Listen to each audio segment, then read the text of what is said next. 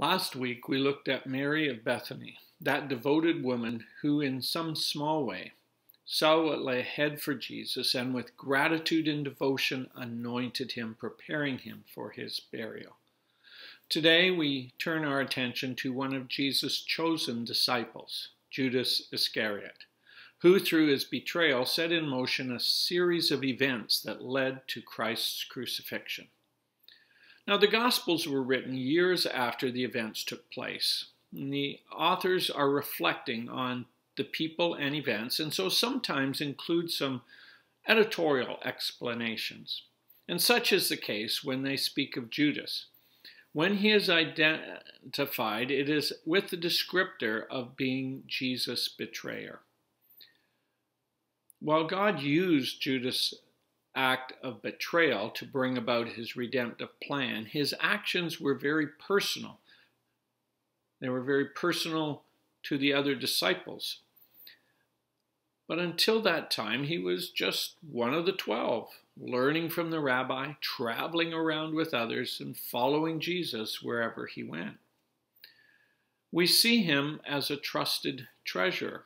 In fact, the, the first time we meet Jesus, or Judas, pardon me, other than the lists of disciples, is at the house of Simon the leper. And we learn that he is a trusted member of the group and has been given the duties of treasurer. John informs that Judas was keeper of the money bag. So, whenever someone gave them money to support what Jesus was doing, Judas was to take care of it. He would buy the supplies or give the money to one of the others to do so. And this was all done on the honor system. There was no bookkeeping, no receipts to write, or checks and balances to the system. Now, Judas, along with the other disciples, are enjoying the dinner given in Jesus' honor after the raising of Lazarus from the dead. And while the festivities are going on, Mary, sister of Lazarus, enters and opens a jar of expensive perfume and pours the contents on Jesus' feet and wipes them with her hair. And then John reports, but one of his disciples, Judas Iscariot, who was later to betray him, objected. Why hasn't this perfume been sold and the money given to the poor? It was worth a year's wages. He did not say this because he cared about the poor, but because he was a thief. As keeper of the money bag, he used to help himself to what was put into it. So Judas uh, voices an objection to what Mary had done. Perhaps the other disciples were thinking along similar lines. But Judas makes it look like he's concerned for the poor by suggesting that the proceeds could have been, uh, or the perfume could have been sold and the proceeds used to help the poor. Now, on the surface, Judas comes across as righteous and compassionate, and I can see his fellow disciples perhaps nodding in agreement. But Jesus quickly defends Mary's actions and hints that Judas's motives aren't perhaps what they seem. First, Jesus declares that Mary's act of devotion looked ahead to his coming death and prepared him for burial. And then secondly, he says, You will always have the poor among you, but you will not always have me. In other words, the poor are always here. You can help them at any time. Perhaps Judas had not been so quick to suggest helping the poor at other times. And we learn that his true motives were actually not to help the poor, but to help himself. Judas was a thief, keeping for himself some of the money given to the group. Did the rest of the disciples know this? Well, probably not right at that time. One cannot see them keeping quiet about it if they knew. But later, as they look back on things, his thievery must have come to light. We next see Judas when he makes arrangements to betray Jesus.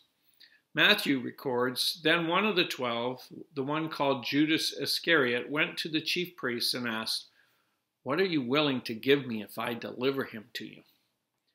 So they counted out for him thirty pieces of silver. From then on, Judas watched for an opportunity to hand him over. Now, what led Judas to consider this awful deed? Well, certainly greed played a part. He stole regularly from the group's funds. He complained about the waste of perfume because he wanted some of the money that its sale would bring. And now he agrees to betray Jesus for 30 silver coins, which would have been equivalent to about three months' wages for an average worker.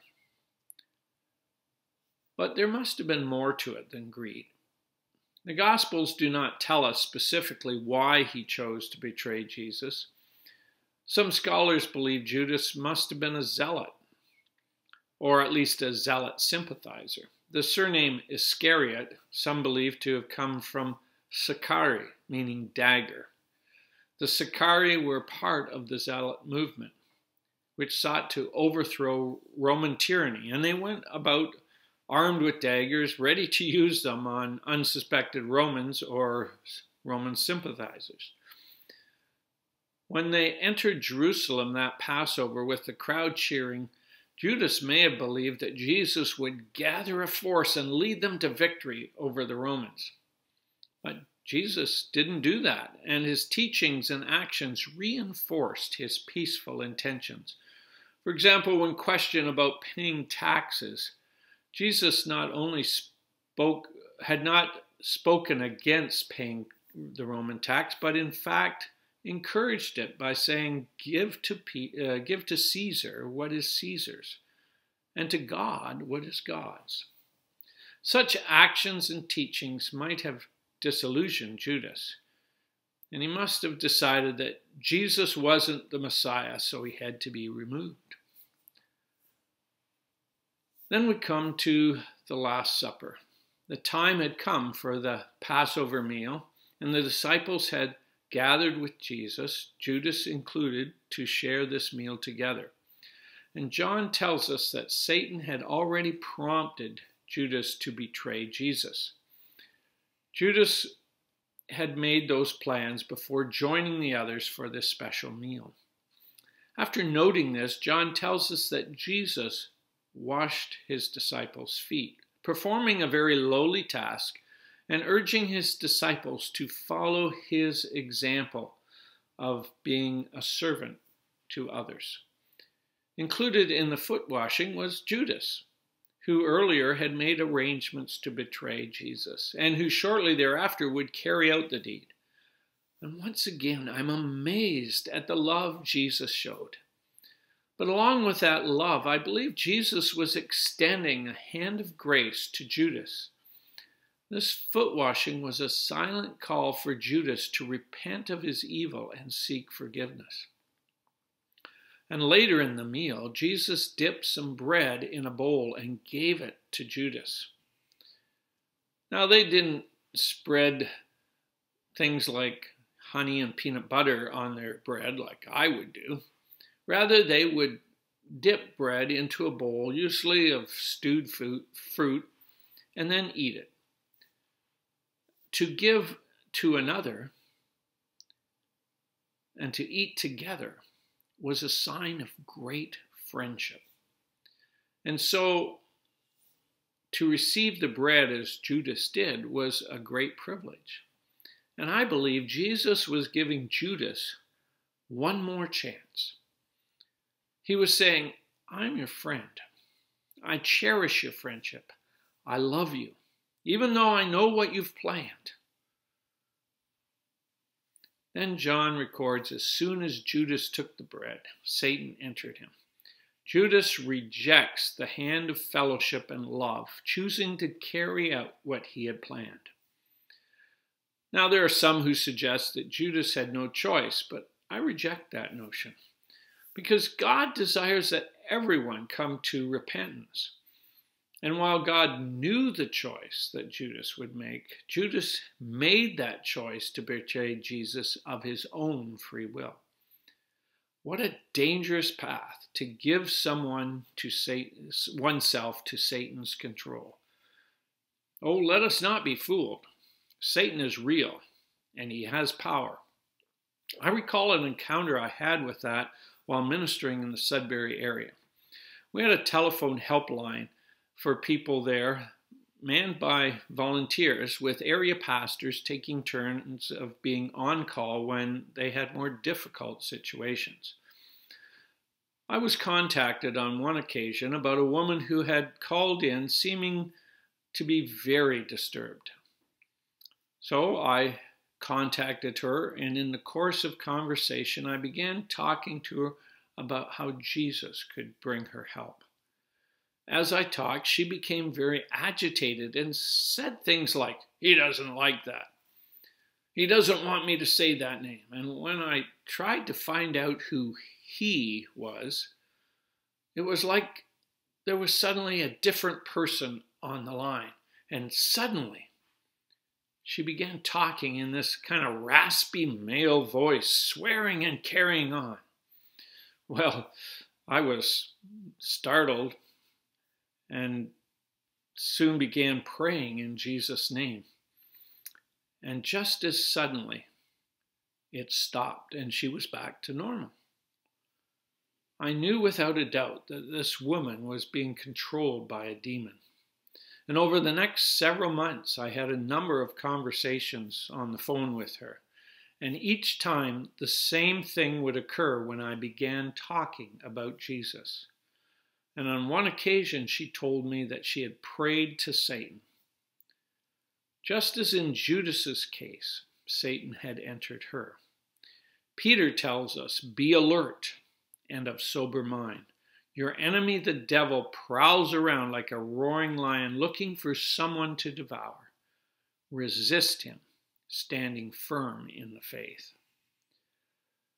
While Judas had left after taking the bread, several hours have passed in which Jesus taught his final lesson to the disciples and then went to Gethsemane to pray. Judas knows that's where Jesus will be, and so he leads the soldiers and mob from the high priest there and gives Jesus the kiss of greeting.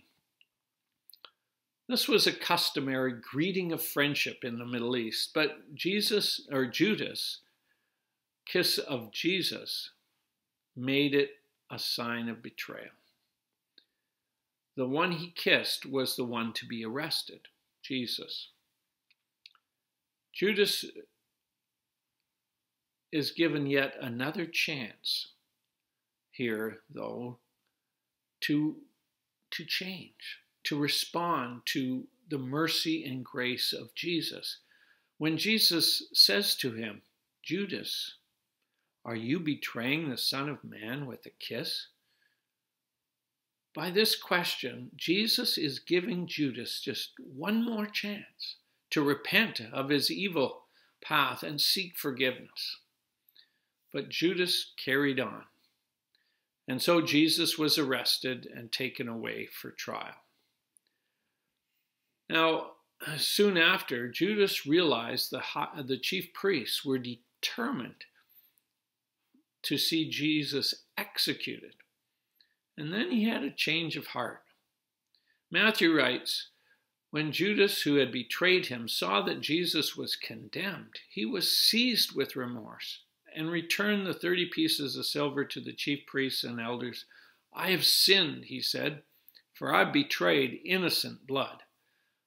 What is that to us? They replied. That's your responsibility. So Judas threw the money into the temple and left, and then he went away and hanged himself. Seeing that Jesus will be put to death, Judas suddenly realizes the enormity of his crime, and he's overwhelmed with guilt. He tries to undo what he has done, confessing to the chief priests that he had sinned and testifying that Jesus was innocent. But there was no compassion from the religious leaders. They have their man and are intent on finishing the job. They want to remove Jesus from the scene permanently. They're not interested in truth or justice. And so Judas throws the money down and leaves. He cannot undo what he has done. He feels hopeless and alone. He knows Jesus has reached out to him several times, but he had rejected those gestures. And now he cannot face his fellow disciples, nor can he face the Lord whom he has betrayed. And so, in remorseful despair, he commits suicide.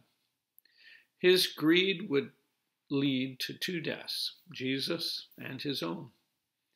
A sad and tragic end to a life that held such promise. A person whom Jesus chose as one of his disciples and in whom he invested so much time and energy. So, what do we make of this uh, tragic life? What can we learn from the betrayal? Well, perhaps it's not what we can learn from Judas' life, but from Jesus' approach to Judas. We have observed that Jesus reached out to Judas several times. Jesus knew Judas was on the path of, to betrayal, and yet during that whole process, Jesus reached out to him in love and mercy. Several times, Jesus said or did things to invite Judas back entreating him to leave behind wickedness and seek forgiveness and restoration. In the end, Judas rejected Jesus. Would Judas have been forgiven if he hadn't committed suicide? If he had met up with Jesus after his resurrection, as did Peter and the other disciples? Well, I believe Jesus would have forgiven him as well. Indeed, those words from the cross, Father, Forgive them, for they know not what they're doing, must include Judas, as they also include us. So, two things then. First of all, let us forgive others, no matter how deep the hurt or betrayal. Jesus calls us to forgive, both by teaching and example. After teaching the Lord's Prayer, Jesus made it crystal clear that we must forgive others. He said, if you do not forgive others their sins, your Father will not forgive your sins. And Jesus' actions on the cross when he forgave his crucifiers, praying, Father, forgive them, for they know not what they're doing, set us an example that we should follow. And secondly, let us be like Peter, not Judas. No matter how great the sin, Jesus still reaches out to us in mercy and grace. He will always forgive us when we come to Him in true repentance and faith. So let us be like Peter, who turned to Him in repentance and true faith. And let us urge others to do so as well before it is too late. May the Lord bless you.